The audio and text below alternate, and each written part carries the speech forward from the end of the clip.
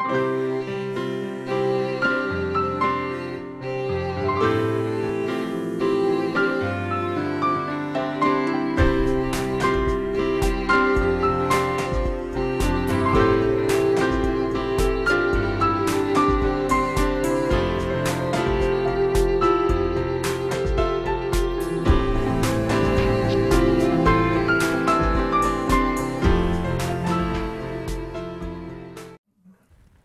welcome to God's View. So glad you joined us today. Uh, we have a really uh, wonderful program again with a very special guest that we're going to be telling you about in a minute. Please go to those prayer lines across the bottom of the screen.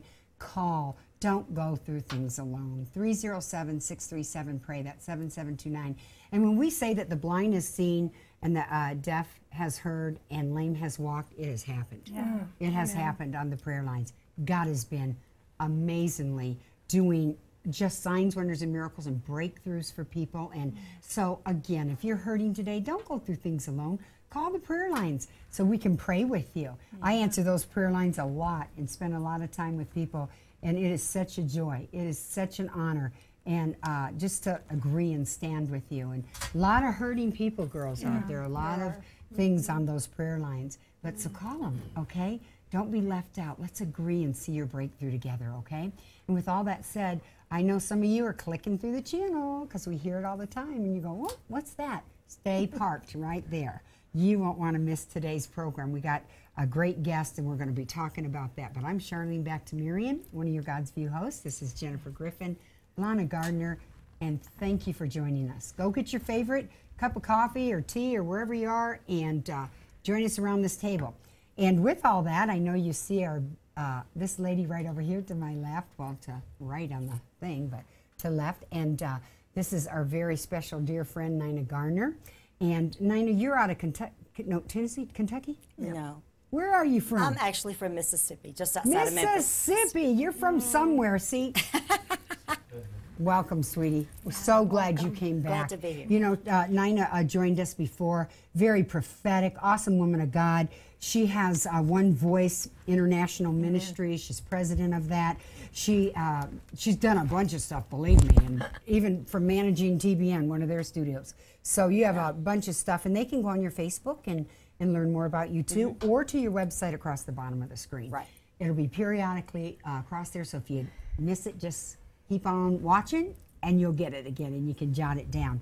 So with all that, thanks for being with us. Oh, thank you for thanks, having me. thanks. I enjoy it. And so anyways, okay, tell us all the things. And we're going to talk about your book and all that. Yes. But tell us what what's the Lord saying to you and, and Uh. tell us a little bit about yourself if you want and your ministry or whatever. Ooh, that's a lot. That's a lot. we're just letting you roll. All right, I can Yeah. roll.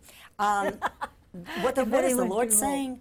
The Lord is saying to get His bride ready. Wow. To get His bride mm-hmm. ready. You know, we see a lot of the things that are going on in the world today. Um, and every day there's another terrorist attack or another mm-hmm. Yes. attack of some sort. Mm-hmm. Um, it, it's it's all kind of divisions that are happening, but I think at this hour though it is a time for the church to rise and shine. Amen. And and God talked about that there being a darkness that was going to come and a gross darkness that was going to come upon the world. But in that process, the church is going to arise out of obscurity. I love and it. one of the things that the Lord spoke to me last night was we hear about all the doors that are closing. Um, like the one over in Russia now is beginning to close, and several other countries that are beginning to close to Christianity. And what the Lord spoke to me last night was basically, I have the final say. Um, Amen. and and he's he's letting us know that he is sovereign. He's in control of what is going on. Yes, amen. And and the interesting thing that he said to me was, he said, "I am the one that opens and closes the door." Yes. Amen. And he says, so you know, don't let those things. Don't don't believe the report of the world mm-hmm. over re- receiving the report of the Lord. So even if supposedly it is close to Christianity, God sends you, you still go because Amen. God's got you covered. Right. And so God doesn't want us to walk in fear or the doubt that we can still do the things that God has called us to do, but He wants us to continue to walk in the things that we've been called to do because for many of us, God has had us on the sidelines. Mm. And I know for myself, there's a lot of things that God has put in me and He's held me, He's reserved me for many years, but He says, still yet, I'm fixing to call you to travel, and I'm fixing to call you to actually do what you have been training to do for the last However long, yes. years, for mm-hmm. many years, over 40 years, mm-hmm. God has been training me to do what I am called to do. So there are other people that have ministries that have not been birthed out yet. And you know, Nine, and speak to the ones that say, you know, they're, they're saying, oh, I'm too old. But what about that one guy? Does anybody know his name? He started ministry at like 89 years old and preached until he was Moses. like 100. I know him well. I You are so cute. It was you. you used yeah. But no, somebody here on earth, and so it's never too late to start. And you know, um, I mean, I I just been looking down at this, so I need to tell them about your book, Okay. "Worship That Touches the Heart of God," by Dr. Nina Garner. Um, Lana's last name's Gardner, but Yeah. wildly too, because you're married now. But the thing is, I'm just going to set this up here the whole time and allow people to see it. But you know, uh, Nina, does this have anything to do with what you're talking about and the heart of God and and Absolutely. absolutely? Okay, let's hear about it. This book is actually, I'm sorry. Go Oh, ahead. I think, too. I really want to know what are the hidden things. Couldn't you say it today? She's so God's been ornery. holding you back. What are the hidden things? This is actually one of them. Oh my. that God had Nice, had been giving to me parts of it down through the years. In fact, when I was a young girl, about 12 years old, when I got saved, mm-hmm. and the Lord began to lead me to the Ark of the Covenant and to study on the Ark and the contents of the Ark, and He had me studying on David, and He had me studying on various pieces and parts. Mm-hmm. And mm. back in the back around the early part of 2000, the Lord began to give me um, uh, he gave me another book called The Coming Order of Davidic Worship, and I didn't understand it at the time because when even as a prophet, you know, you, you can you can have things that God gives to you, and prophetically you don't understand. And he this is what he gave to me, and I said, Lord, I don't even know what that is. Happened you know, but he I said write know. the book, and I'm like, I I don't know know. what that is, but I'll try to write the book. You know, so I did write it the best I knew how to write it, and it wasn't a really big book, but it was the the basic foundations. And after I wrote that, God gave me twelve positions of of Davidic worship. Wow. But mm. and he gave me the scriptures and and and a lot of the information about it, and then he put it on hold mm-hmm. because I had other assignments that I had to mm-hmm. go and do. Mm-hmm. And honestly, part of that assignment was my family. And God mm. had me working with my family mm. for a period of years.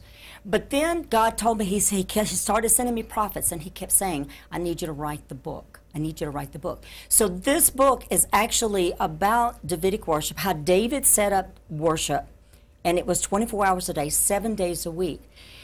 There are so many revelations that are in the book that honestly I can say the Lord wrote the book, and He just allowed me to put my name on Oh, it. sure, he had to. The um, the interesting thing was I had written it, and after I wrote the book, it was more of a theological thing mm-hmm. that I was doing because I had been in college and had been teaching in college, had been running the college, okay, the International College of Ministry. But then God was like, "No, I don't want this." To be a theological book because people are not really mm. all that into doing the theology unless you're studying theology. Yes, mm-hmm. yes. And he I'm said, I need you to put the cookies on the bottom shelf for the babies. Mm. He says, so that if they're a new convert, that they understand and know what I'm looking for. Mm-hmm. And so the day that, that this whole book shifted was one November, and I had uh, another prophetess that was there with me at the house, and we began to talk, and she said, Nina, I need something that is visual. You know, you can't just Yes. give me the scriptures and expect me to understand and know how to practically apply it. Mm. I need to know if I'm going to go in and I'm going to worship God, what does that feel like? What is it that I'm supposed to be thinking about? Mm-hmm. What is it that I'm supposed to physically be doing? Mm-hmm. And so, because of that, she began to talk to me about that. And I know that it was God using her mm. because at that point, all of a sudden, the Spirit of the Lord fell in my house. Mm-hmm. And, and, and, and I began to experience the, the baptism of the Holy Spirit. It was just like all over again. But the interesting thing was the mm-hmm. glory cloud moved in, and I saw Yeah. it when it walked in under the threshold of the house. And as I'm sitting there, I began, I was totally enveloped with the presence mm. of God, totally enveloped. Mm. And I, I just for a while, God was speaking to me, and He kept saying, I want the people to know that they can touch my heart. He said, mm-hmm. That's what I've always been after. He said, mm-hmm. That's why I took their stony heart out of them and mm-hmm. put them a heart of flesh. He said, I want them to know that I'm a God that's touchable. Yes. And he says, in the church world as we know it, they don't know how to touch me. They don't know what it feels like. They don't know what they're supposed to do. And most people even avoid even coming to the worship services because they don't feel like that they fit in. Yes, He says, I want you to show them where they fit and how to get there. Well, it's funny how you're talking about touching the heart of God. I just want to give wet their lips. You have a, a, um chapter in here, touching the heart of God. Have you ever felt like you're going through the motions of life, never truly feeling alive? Have you ever gone to church looking for something to fill your emptiness and left unfulfilled? Although you had no real complaints and everything on the outside seemed fine, yet inside you knew something was missing. All the answers you seek are in your worship, the worship that starts within you. That's good. This is good. That's good. This is her book, and uh, it's called Worship That Touches the Heart of God. You want to go, where can they get this book, real quick? Um, they could go to my website Okay. at, at www.onevoice, O-N-E, V-O-I-C-E, Okay. I-N-T dot of the com. screen. Yeah. And they can also get it online at amazon.com. Okay. And they can also buy it from the publishing company called Startup Publishing. Okay, wonderful. Yeah, because this is And it is in ebook form sounds also. really good. Oh, it's ebook form too. That It oh, is e- people love that now. That's a that's a new thing. But finish what you were saying. I But let just me- really want to get that in because you were talking. Uh, the Spanish people, my home church is a Spanish church. Ah. And they were crying for this, and they were already doing part of the Davidic worship, but they said, we want to know the rest of it. Mm-hmm. And so, not uh, this came out last May, okay. and then oh, it's very new. very new. And then this came out as of March the 1st of this year. And this is also available in ebook format. Okay, so they're different books. Yes, this is the This is Spanish Spanish. version. Oh, this is the Spanish version. I'm like, oh my goodness, thank you, thank you, girls. Because I was like, I'm, I'm thinking, what do you mean they're different books? But it's just in Spanish, Yes, same writing. yes, okay, yes. all right, so they can get it in Spanish. Wow, how great is that? I wish we know how to speak Spanish. We could tell them. Do you know mm. how to speak Spanish? I don't. Anybody? Always have an interpreter for me. Uh, yeah, yeah. So, anyways, finish. You. It was so intriguing what you were saying. But when you were talking about touching the heart of God, it was so funny. I had turned to that page, touching the heart of God, and so I thought, well, let's get that in there. Well, because that's just one of your chapters. I mean, my goodness, it's got minister, the priest office, the glory of the tabernacles, three dimensions of worship, flow of the Holy Spirit. Uh, your open door, visualizing your tabernacle, releasing your burdens, glory of worship. I mean, it goes on and on. So great chapters. What Sounds like happens when we sing in worship? What happens? You actually ascend to the throne of God. Mm. Mm. Mm. When it's done, see, see in, in John 4 and 23, it says, God is seeking for worshipers. Mm-hmm. And he says, but they have to worship in spirit and in truth. Yeah. And so David understood that principle because, you see, David said, Who could approach the throne of God except that they had clean hands and a pure heart? Mm. And so David was all about worshiping God, even when he was in the fields, when he was a shepherd, mm-hmm. when he was unknown to anybody, and they really didn't care about him or mm-hmm. what happened to him. Uh, even yesterday, Lana was speaking at, at our camp meeting, and she was saying that if you were a shepherd, they really didn't care if anything happened to you. You mm-hmm. know, and he wasn't even acknowledged as a king back then. Didn't even uh, th- his daddy didn't even acknowledge him. In heaven, it did. They were that. the lowliest, acknowledged. the lowliest of the low. Mm-hmm. They Yes. wouldn't even be allowed to testify in court. Mm. And that if they fell into a pit, they, no one was obligated to pull the poor shepherd out of the pit. They'd lay How there and terrible. die. How That's terrible. how low Jesus they is were. considered and a. Jesus announces his best to mm-hmm. his mm-hmm. worst, to their worst. But I think that that speaks volumes to us, mm-hmm. though, because we can be nobody. You know, it's not that I came from a long lineage of ministers. It- It's, it's not that I came from from people who were well known. It's you can you can be the Gideons. You you can be you know people who are, are virtually unknown that nobody would have ever selected you, but God knows who you are. And when you worship God in spirit and in truth, it doesn't matter who else uh, approves of it you know because we're worshiping to the audience of one That's right. and and when i get god's attention i don't care if it's anybody else's attention you know Amen. because he's he's the one i'm after and he's my pursuit and he's always been my And the pursuit anointing comes through that, that Yes. intimacy with Yes. God. I, I was going to ask you about the chapter. You said something about visualizing the tabernacle. Yes. Can you tell us about that? In visualizing your tabernacle, I, I actually go back into the Old Testament Mm-hmm. and how that David talked about we enter through the gates with thanksgiving and into the courts Mm-hmm. Yes. with praise. Well, each one of those things are symbolic Mm-hmm. there. And it talks about how that when he came, he was rejoicing when he came through the gates of praise. Mm-hmm. And when we're entering in into worship, we should be happy about that. Yeah, yeah. I mean, who else could approach a king without having to be properly adorned? and yes. I mean, you know, you do it in your shower or, or when you're cutting and grass. You know, I mean, you don't have you don't have on priestly Yeah, garments when right. you're doing that. But yet we're allowed to come in mm-hmm. and, and we're allowed to worship. Yeah. And so he was he was saying, I was glad when they said unto me, Let me go into the house of the Lord. So he had a joyful attitude, and, and, and David was joyful about everything. Yeah. And so David came in and he totally changed the way that worship was. And I want to give you this this word that the Lord gave to us last year at a at a um, conference that we had.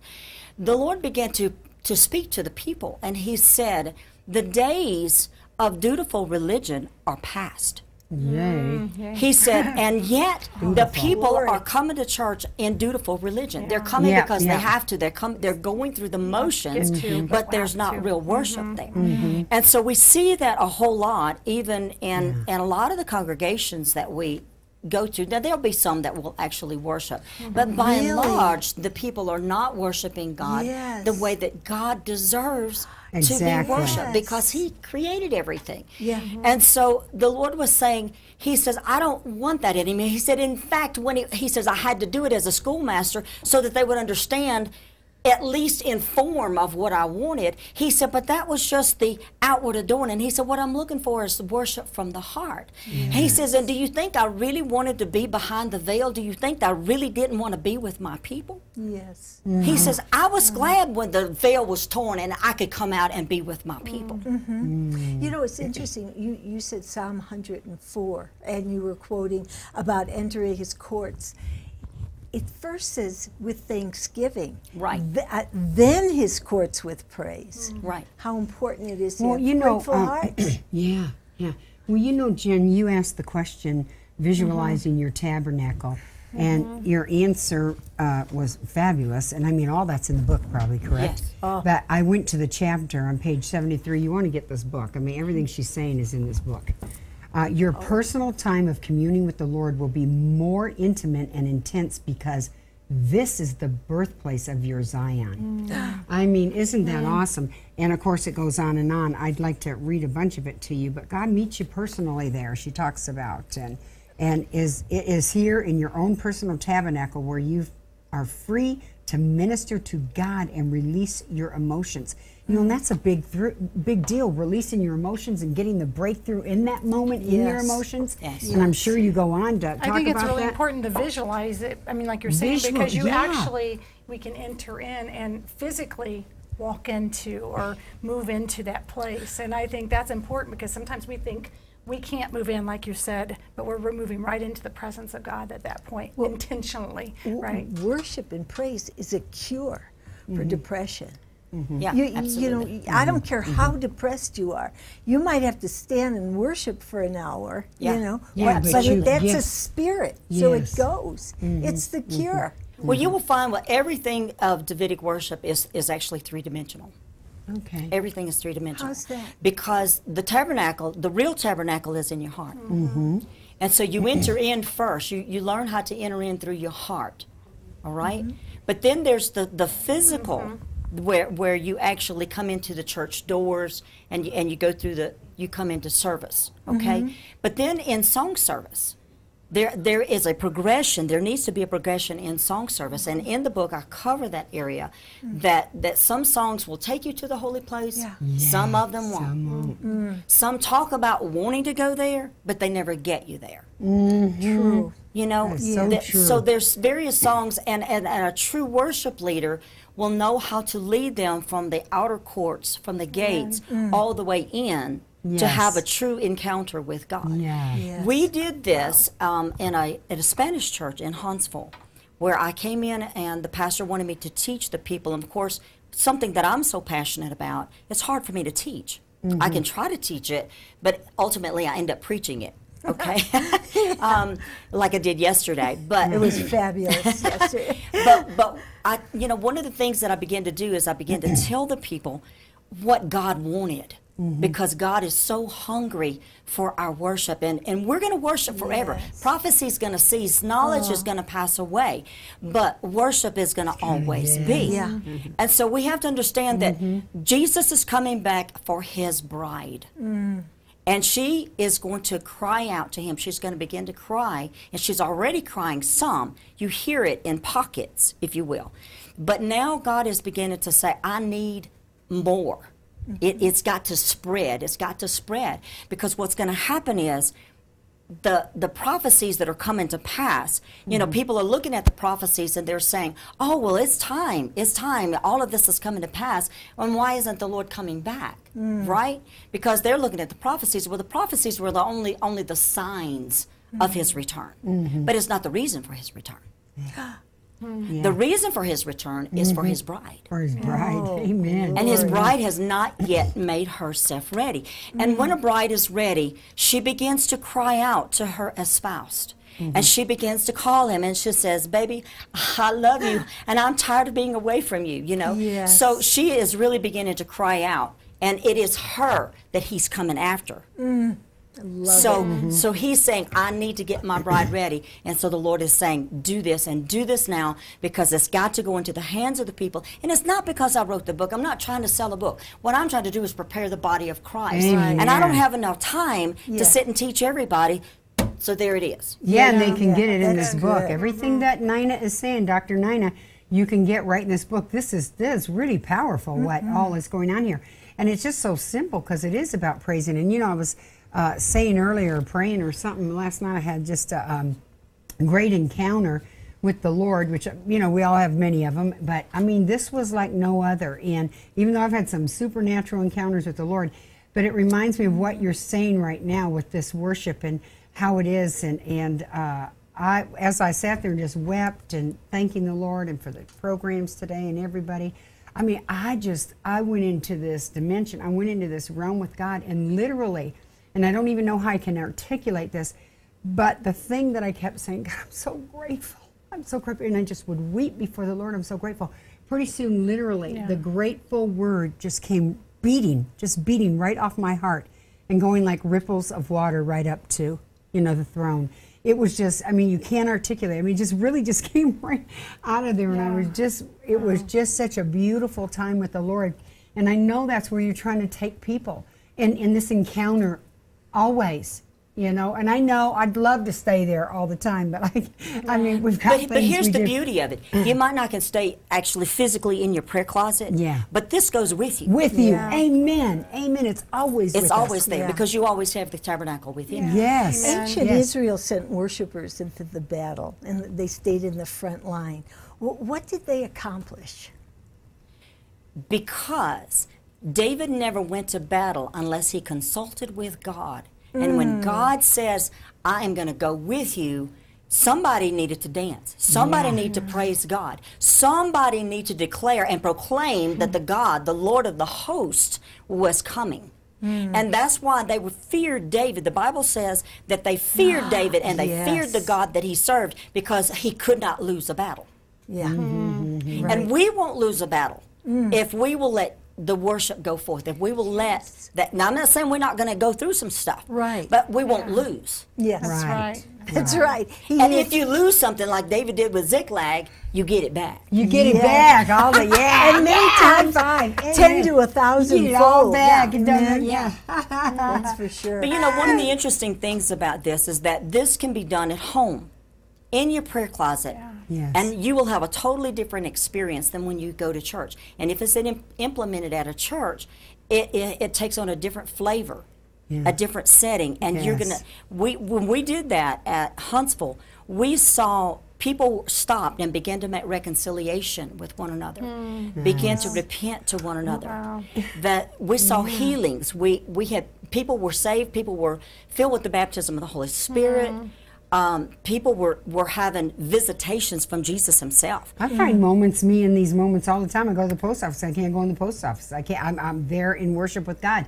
You know, it's just everywhere. The tabernacle goes with you. You are. You know, You and are. so Yes. we are. And and I mean, I just have worship times all the time. It doesn't matter where. Well, and it changes everything, ch- changes your heart. And that's what you're saying when there's reconciliation that comes out of it. There's, Mm-hmm. you know, our worship, everything comes out of that. There's the fullness of what He has. So, It's awesome. It's awesome. hard This is a issue. Mm-hmm. great book. They have to go get you got to go get this book. I'm serious. And you can get it at her website across the bottom of the screen. And uh, man, everything she's been talking about is in this book. And you can go to Amazon.com also and get it, or you can also get the, the uh, Spanish one from the publisher too. Yes. Everything from Mm-hmm. the publisher. Okay. Oh my gosh. With that, I got to go. Oh, I can't believe it. I want to keep going. I want to Yes. hear more. I I I, Oh my want to read the book. Yes, thank you so much for coming. Oh, God bless you. Mm-hmm. Listen, if you don't know him, he's coming, and Amen. and listen, he died for you. He loves you, did. and you, and many of you, you sit there and say, "There's something in you. I've seen something, and and and I want that." Well, it's Jesus. We are nobody, but it's Jesus in us, the hope of glory. He died on a cross for you. He loves you. He wants you to come to Him just the way you are. We hear it over and over that, oh, I can't. I mean, I'm just this horrible sinner. The, the walls would fall in and all this kind of stuff. No, it won't. He died yet while we were still sinners for us. And He wants you to come just as you are. You and Him deal with your life. He mm-hmm. wants you to just come. And all you got to do is say, Jesus, forgive me of my sins. I really do believe what they're saying. I believe that you're the Son of God.